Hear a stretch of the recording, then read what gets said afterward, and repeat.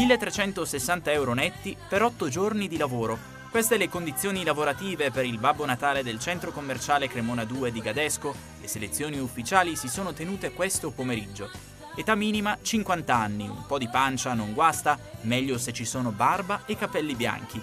Ma in fin dei conti ci possono provare tutti. Ecco cosa ci hanno raccontato gli aspiranti babbi.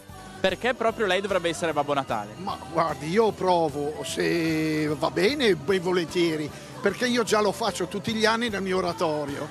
L'ho fatto con i miei nipoti, mia figlia e perché non provare qui? Io faccio il DJ di professione e ho già avuto da fare con tanti bambini, compleanni, mio compleanni e ci provo. Se va bene va bene, se non va bene amen.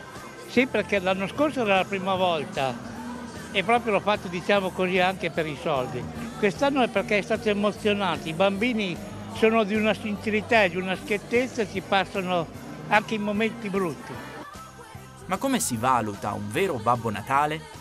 Allora, i criteri di valutazione variano dall'aspetto fisico, naturalmente, eh, l'empatia e la capacità di lavorare con i bambini. Quindi alla fine del casting faremo leggere a tutti i babbi natali che arrivano in finale una favola per capire un po' poi se sono adatti a fare questo ruolo all'interno di questa galleria commerciale.